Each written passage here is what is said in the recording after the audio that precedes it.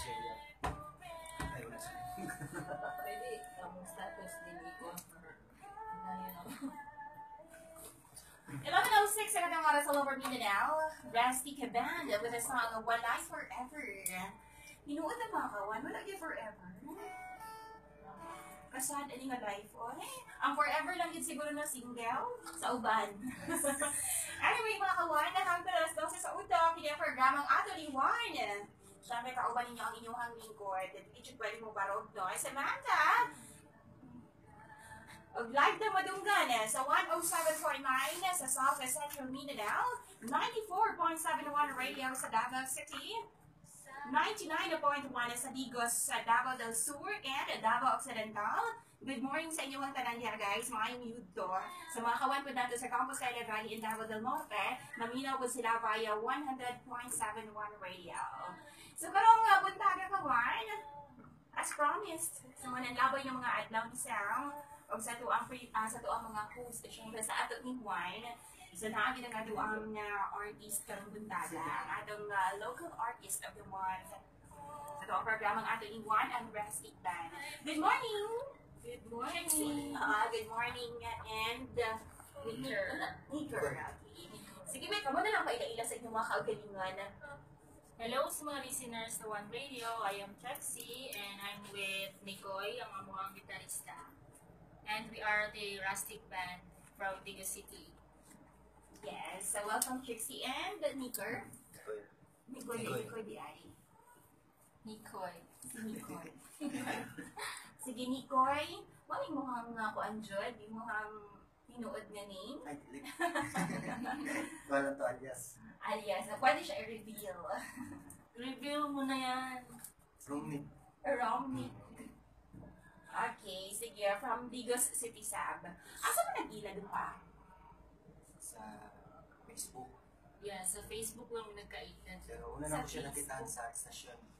Sa istasyon. Okay. Tapos, ah, nag-start sa imong singing career si Trixie. Ako from, ay, since grade, ah, first year high school.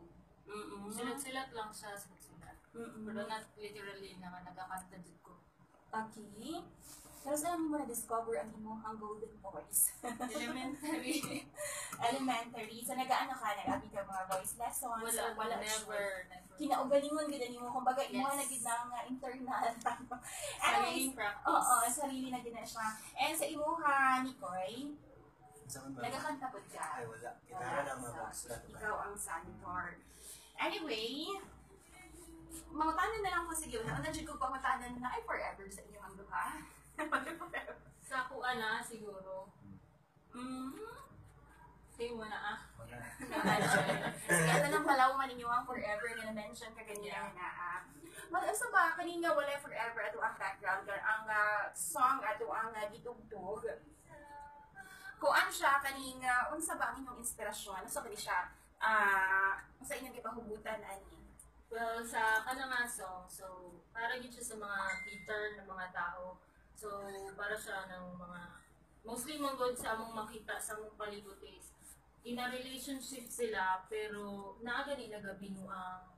So, nadyo yung mga bitter ng mga tao. So, sa amuang pag pag-abot mong gungdo sa naunaw na ng mga why not magbuhat naging nga nga kanta nga kanang kumbaga trending siya nga relationship karon nga pabitter-bitter ng mga tao. So, mo tinabot ang mga friends. Yes. Pero ako no naagi for na forever. Yes. Napahuon lang ako forever. Yes, tama. Yes. Every, Mm-mm. I mean ako, ano, bitter mo siguro Miss Tracy. Hindi, joke lang. But anyway, rustic ka. Asa ba galing? Asa ba ka na rustic na? Na istay. Ah, so, ang rustic is, gikan siya sa ra rockista na na nag-acoustic. Mm. So, so gikan na siya kay Nicoy. Si Nicoy na dyan nabuhat na naman eh. Mm. So, may nakaw combination na sa inyong name. Oo, sa dili dahil no. So, Kapit po, pwede po. Gani, di ba? Yeah. But, mm So, well, anyway, mga kawan, na 11-11 ang atong oras, pwede pong uh, mag-send sa inyong mga panguntahan. Pwede kayo mo mag-question mga kawan. Mag-text mo kay Samantha sa 764. 764. 764-0908-229-4764. Ito na ipaabot ang inyong hangyan, pangutana.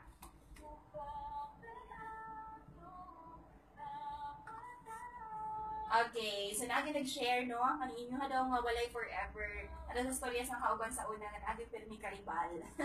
so na siya inyo na na no? Well, anyway, kawan na sa inyong mga questions and of course, ato pa ning uh, interview pag-ayo ni ato ang ah, local artist of the month na karumbulan na sa Mayo ang Rustic Band. Unya sa itong pagbalik din sa programa ang ato ni Juan.